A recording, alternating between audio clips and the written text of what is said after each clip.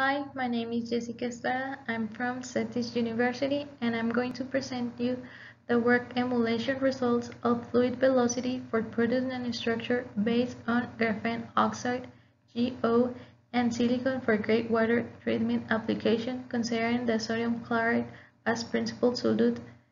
This work is made with the collaboration of Dr. Lopez and Efrain Mejia. This is the agenda that I'm presenting to you. First, I'm going to talk to, about the introduction, then the theoretical background, next the methodology, next the results, and finally the conclusions. Introduction. This work is based on the water problematic. As we know, there's an interest on the research of water treatment, either for residual water or greywater. The intention of this work is for greywater application that is always water generated in houses or office buildings from streams except for the wastewater from toilets. That to say without fecal contamination. So the sources of greywater include the baths, the showers, the sinks, washing machines, or uh, dishwashers.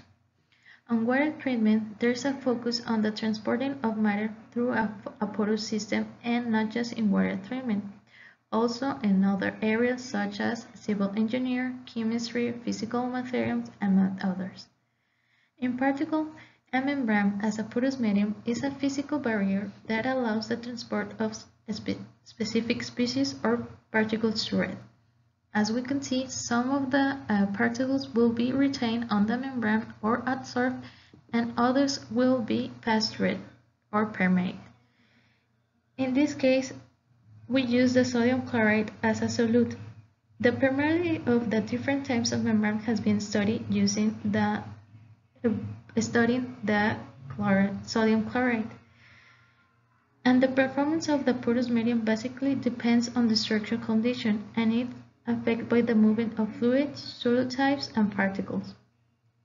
However, sometimes a single absorbent material is not enough since it could present a well performance for a single type of pollutant but not for all pollutants present in the wastewater. So to have a good pollutant removal effect, the combination of two or more absorbent materials will be a good pollutant removal. Thus, different materials have been searched for application for porous medium, for example, silicon. The silicon has drawn attention respect to the application of macroporous and mesoporous membranes. On the other hand, Graphene has been widely analyzed and used. It has been used as a high-efficiency absorbent to remove pollutants, to its ability to exchange ions with other materials. And graphene has been used for manufacturing porous membranes, multilayer and mixed matrix membranes. This to improve the efficiency of various conventional processes related to ultrafiltration, nanofiltration, ion exchange, among others. Otherwise, graphene oxide GO has other advantages. Size in these hexagonal groups, it has functional groups such as hydroxyl group, carbonyl group, epoxy group, group. And GO has an hydrophilic and hydrophobic region confined in a 2D shape. GO has present high effectiveness for the elimination of pollutants of wastewaters and heavy metal absorption, such as mm, copper 2 plus, cadmium 2 plus, nickel 2 plus, and lead 2 plus. Theoretical background. Here I present a conventional pipe of 5 centimeters long by 2.54 centimeters wide which consists of four sections, A, B, C, and D. The inflow in the pipe is in, shown in section A, while section B and C are the porous medium and ha has a length of 0.5 centimeters.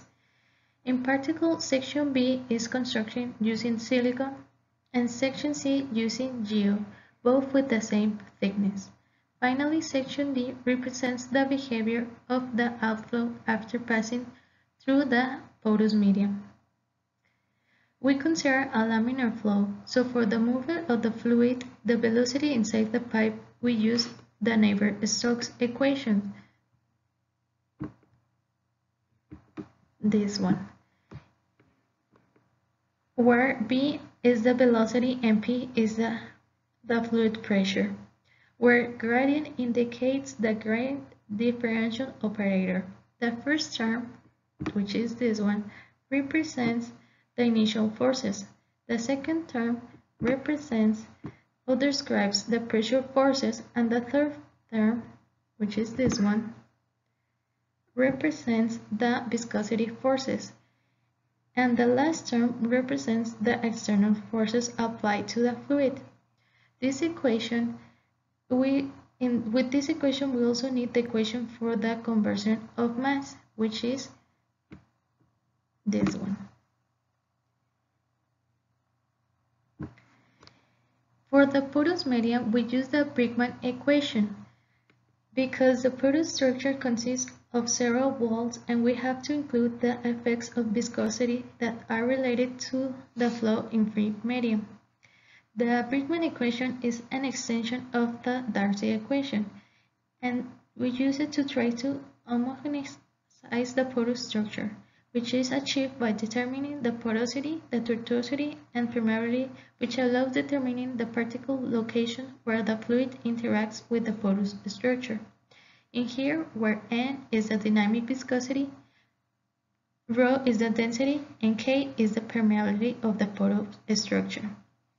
And to determine the initial velocity on the pipe, we use the continuity equation, which depends, which is this one, which, which depends on the roughness and wet perimeter of the pipe, all the surface that is in contact with the water. Because it is considered a cylindrical pipe, the wet perimeter is practically the entire surface. Methodology. Here I present the uh, initial condition of the flow through the pipe.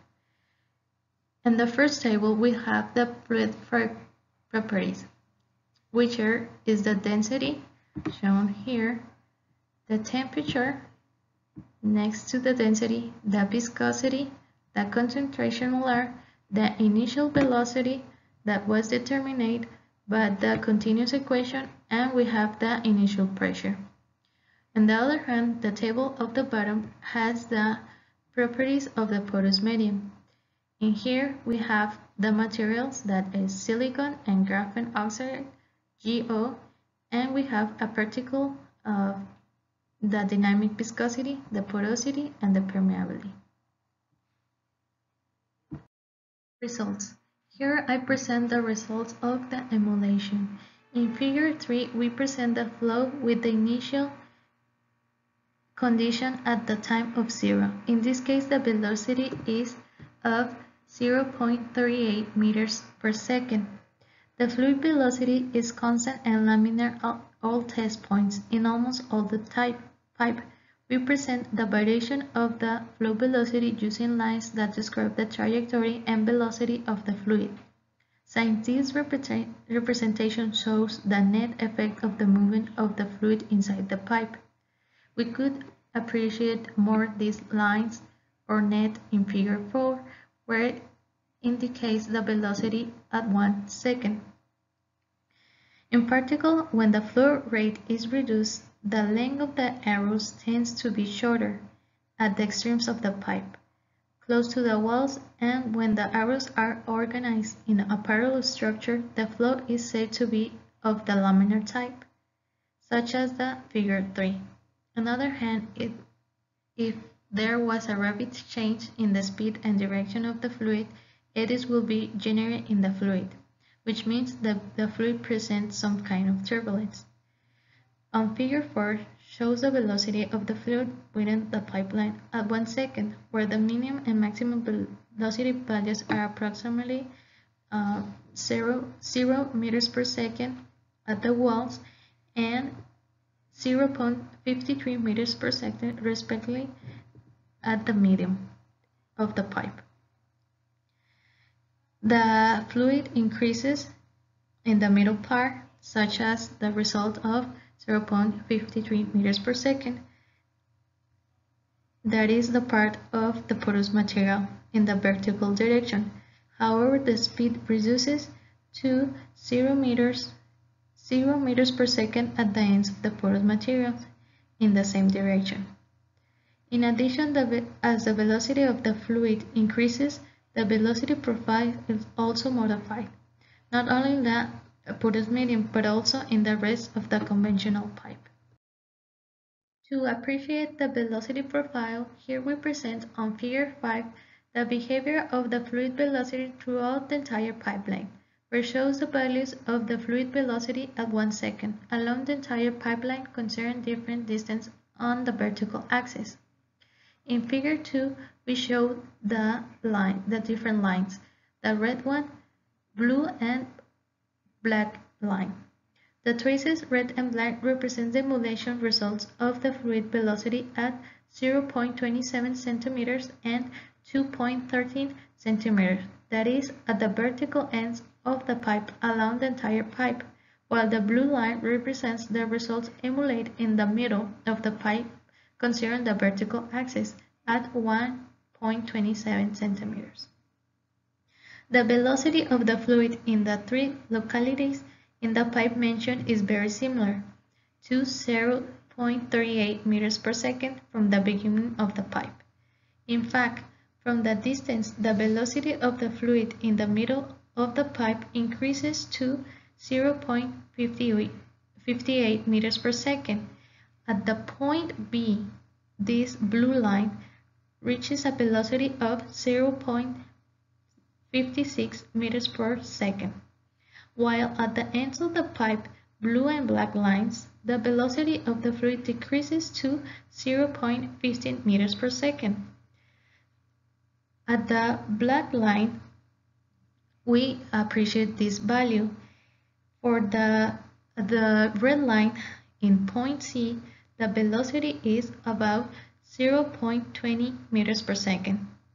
These simulations results are mainly for the membranes construction using silicon and GO. Once the fluid crosses the nanomembranes, the fluid velocity and the velocity profile is also modified, reaching a velocity of 0.53 meters per second for the middle part of the pipe and 0.25 meters per second for the ends of the pipe. For the conclusions in this work, the mechanical analysis of a solid nanostructure based on GO and silicon considering salt water as fluid, the preliminary results related to the fluid velocity are adequate for domestic applications.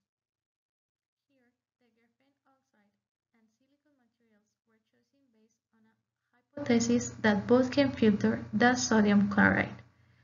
As future work uh, for the synthesis of the membranes, a physical-chemical analysis will be required in order to determine the bed adsorption isotherms using the Arrhenius equation to verify the dependence of the kinetic velocity of the reaction chemistry.